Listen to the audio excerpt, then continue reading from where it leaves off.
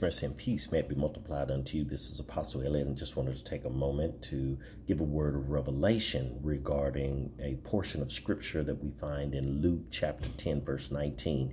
And that portion of scripture is about treading down serpents and scorpions.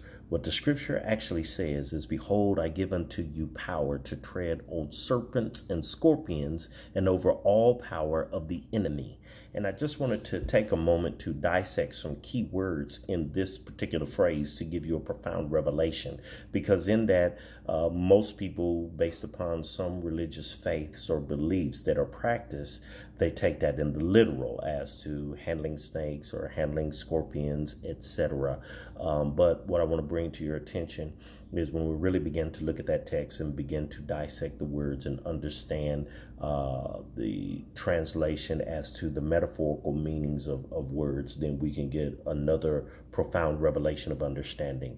So, in that, as the first of all, the scripture says, Behold, I give unto you power. And the word power that's used here is exousia. Uh, which exousia means influential ability or authority that is based upon one's spiritual vision being sharpened, being fine tuned. So he says, I give you power or I give you influential ability um, through you being sharpened spiritually so that you can tread down serpents. And the word tread comes from the Greek word pateo, which means to trample or to crush. However, the root word of that is peio, and peio means to hit or to strike back.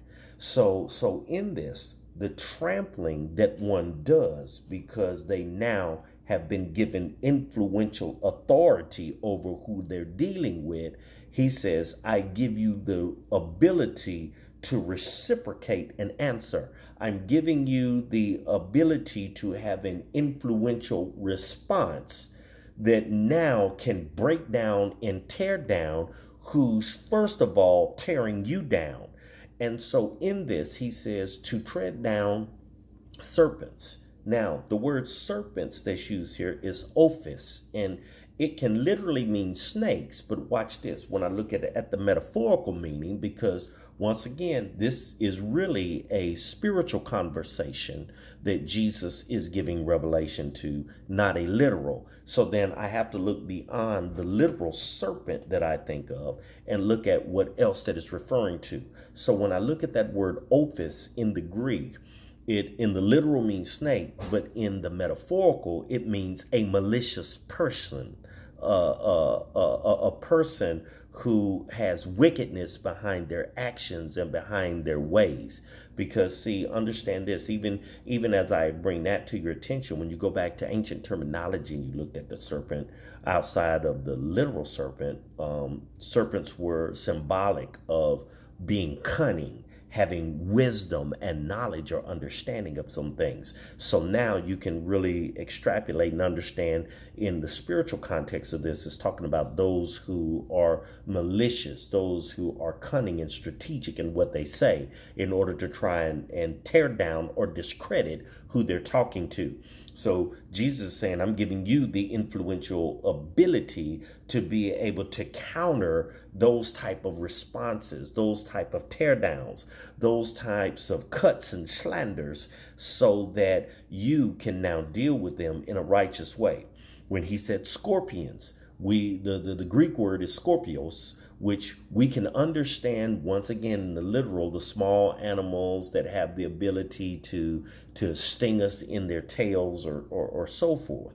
But there's also the Greek word skopos, which, which skopos is a person who is a skeptic. And what is a skeptic other than a person who questions or doubts uh, accepting anything that has been an accepted opinion or truth by others. So, in this, as he's talking about the scorpions, he's talking about once again the skeptics who observe in concealment. They set back and they look for their moment to strike like a scorpion and be poisonous with their comments regarding what they have to say because they want to cause pain and division uh, like a heretic. So, so in that, this is a profound revelation, hopefully for somebody when you really look at this scripture uh, as to what Jesus is saying when he says to behold, or I want you to discern that I give you exousia, influential power, in order to deal with your adversaries who are either those who are malicious or they're those who are skeptics that want to disprove what you're saying as a truth and bring uh, counter opinions to the table to dismiss what you got as a righteous opinion. Amen. So, with that being said, I pray this is a profound revelation of understanding for you as you continue on your journey to your divine destiny in the Lord through Christ Jesus and Christ Jesus alone. Amen. Amen. Amen. God's blessings to you and pray that this continues to assist you with your journey.